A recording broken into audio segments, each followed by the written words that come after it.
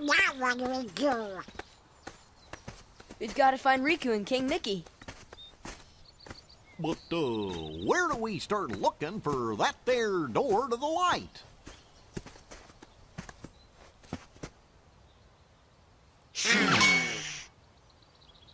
Huh? Huh?